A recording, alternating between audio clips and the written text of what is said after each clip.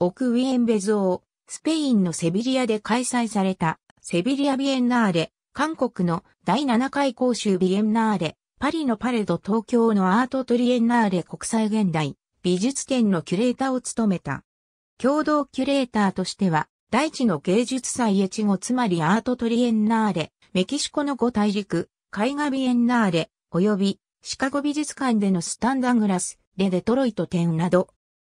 フランスの哲学者、ジャック・ランシエールは、アートは、社会批判、文化批判が可能であり、芸術作品が世界状況に関する包括的な政策ができるとして、奥ウィエンベ像は2006年に開催されたセビリアビエンナーレをグローバリゼーションの時代における社会的、経済的、政治的絆を抹殺し破壊させる装置を暴くためのものと定めていると考察している。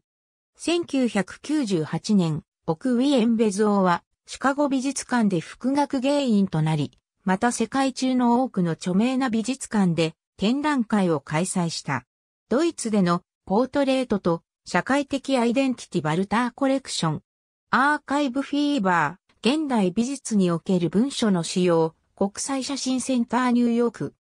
巡回展、短い世紀、アフリカにおける独立と解放の動き、1945から1994年ミュンヘンのビラシュトゥーク、ベルリンのマルティングロピウスバウ、シカゴ現代美術館、ニューヨークのモマ PS1、 Century City 展を、ロンドンのテートモダン、ミラーズエッジ展を、スウェーデンのウメオにあるビルドムセアットと、カナダのバンクーバー美術館、イギリスグラスゴーのトラムウェイアートセンター、イタリアトリノのリヴォリ城、In/Sight, African Photographer 1940年から現在、展、グッケンハイム美術館。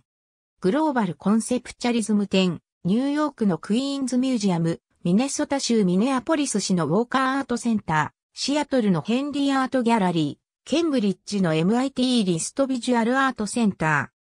ー、デイビッド・ゴールドブラッド、51年展、バルセロナ現代美術館、ニューヨークのアクサギャラリー、ブリュッセルのパレデ・ボザール、ミュンヘンのレンバッハハウス美術館、ヨハネスブルグ美術館、ロッテルダムのビッテ・デ・ビット現代美術センター。2018年6月、エンベゾーは、ミュンヘンのハウス・デア・クンストのディレクターを辞職した。理由の一つにガンとの闘病があった。2019年3月15日、55歳で病没した。ありがとうございます。